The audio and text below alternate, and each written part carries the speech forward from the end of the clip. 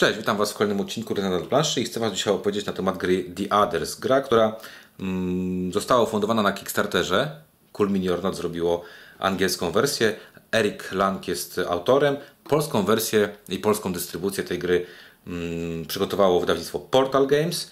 Jest to bazowa e, gra, czyli to co Wam pokazuję to jest bazowa gra, która e, w tego The Others, czyli grzechów jest tylko dwa Oczywiście gra ma wiele rozszerzeń, nowe, nowe postacie, także to co Wam pokazuję to jest gra oczywiście e, podstawowa. Ważne, nie będę opowiadał Wam o tym e, jaka jest ta gra tak dokładnie, tak? nie będę pokazywał przebiegu rozgrywki, powiem Wam ogólnie z czego się składa i co tutaj mamy.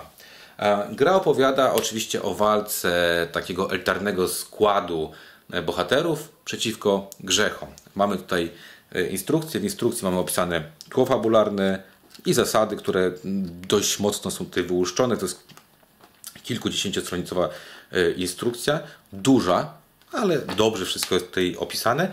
E, fajne tło fabularne, tak jak powiedziałem, mamy grupę, grupę tak zwaną Faith, która walczy przeciwko grzechom. W wersji podstawowej mamy dwa grzechy, czyli pycha i lenistwo i mamy różne scenariusze. Przed przystąpieniem do rozgrywki należy wybrać, który scenariusz będziemy grać. Tak wygląda karta scenariusza. E, po pierwsze mamy e, trzy rodzaje scenariuszy, tak? czyli mamy e, scenariusze, w których musimy kogoś ratować albo coś tam bronić. To, jest, to jest, są niebieskie scenariusze. Scenariusze konfrontacyjne, czyli czerwone. Mamy takie scenariusze, które E, w których jest troszeczkę czyszczenia, trochę konfrontacji, czyli zielone i mamy finalny, ostateczne starcie z Hellklubem e, i to jest ostatni scenariusz. Taka karta ma dwie informacje. Po pierwsze mamy informację jak mamy przygotować grę. Mamy rozłożenie mapy, rozłożenie mapy A albo B, w zależności co chcemy żetonów, które tutaj musimy zrobić oraz tutaj kto kontroluje, co otrzymuje. To jest kwestia przygotowania, tak? Czyli na każdej po drugiej stronie mamy jak przygotować dany scenariusz. Po tej stronie natomiast mam napisane, co trzeba zrobić, żeby wygrać. Czyli co e, w przypadku grzechu to jest bardzo proste, po prostu musi unicestwić e, tych bohaterów, natomiast bohaterowie mają tutaj zawsze rozpisaną taką e, drogę do sukcesu. Najpierw muszą wykonać zadanie pierwsze, następnie po wykonaniu zadania pierwszego przywołany, przywołany jest awatar, o, o którym za chwileczkę Wam powiem.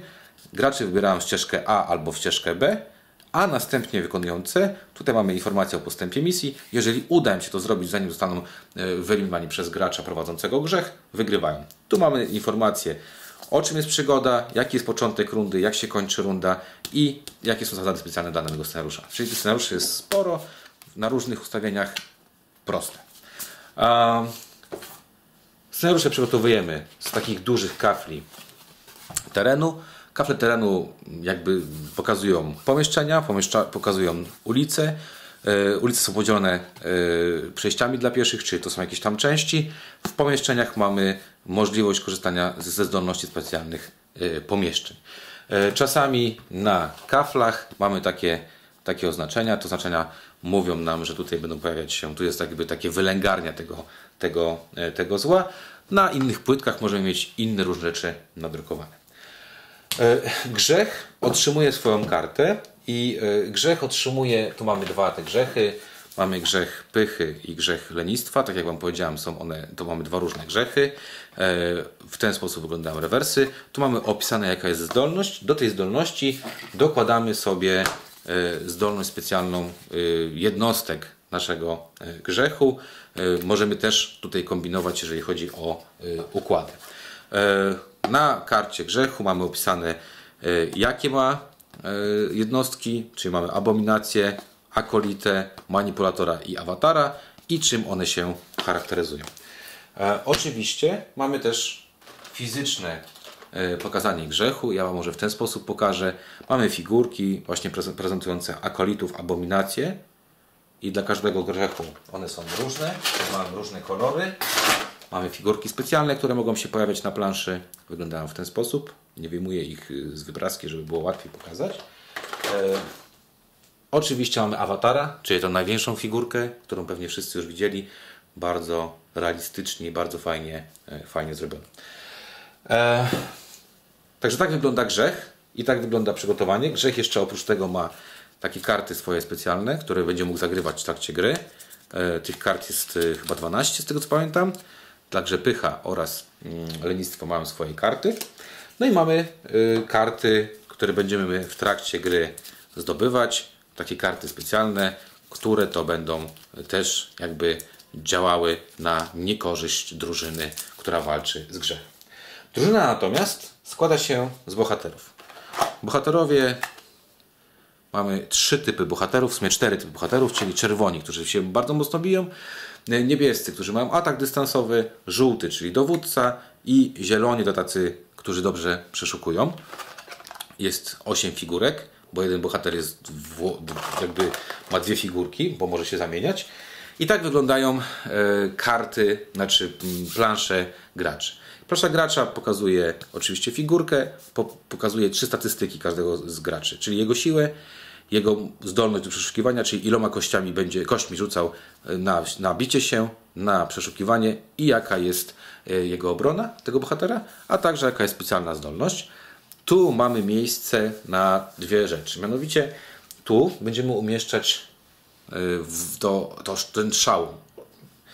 Za każdym razem, jak, jak nas będziemy atakować sobie, nas będziemy się bić, możemy zostać um, zaatakowani fizycznie albo mentalnie i za każdym razem, jak będziemy mentalnie się tutaj e, przesuwać, w momencie, kiedy dojdziemy do tego miejsca, każdy kolejny hit będzie powodował, że będziemy otrzymywać obrażenia. Obrażenia zaznaczamy bardzo ładnym takim, że takimi y, plastikowymi serduszkami i obrażenia kładziemy sobie tutaj, wyłączając pewne zdolności.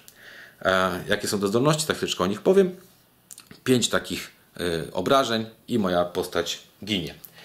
E, mamy tutaj na przykład e, inne planszetki. Każdy ma inną zdolność, tak jak powiedziałem. One się różnią e, tymi trzema statystykami. Co jest ważne? Ważne jest to, że gra tak naprawdę z punktu widzenia naszych bohaterów jest bardzo, bardzo prosta. Mianowicie każdy bohater ma trzy rzeczy, które może zrobić. Może poruszać się po planszy, to jest pierwsza rzecz może walczyć y, z figurkami y, złego, które są na planszy i trzecia może je przeszukiwać. Mamy na, bardzo często w różnych scenariuszach mamy jakieś, e, jakieś żetony. Żetony możemy zdejmować, czyli na przykład nie chcemy, żeby tam nie wiem, ogień był czy coś takiego. Czasami musimy coś odkryć w zależności od, od, y, od naszego e, scenariusza i te żetony, które są na planszy będziemy mogli zdejmować. Czyli jedna akcja to jest ruch, druga akcja to jest walka, trzecia akcja to jest E, to jest czyszczenie y, tych, tych regionów. Każdy z graczy będzie miał do dyspozycji kości. Kości gracza prezentują uderzenie, udane przeszukiwanie, obronę, e, joker, e, ignorowanie macek, które będziemy otrzymywać oraz ostatnia ścianka. Nie, przepraszam, są dwa hity na, na, na, na.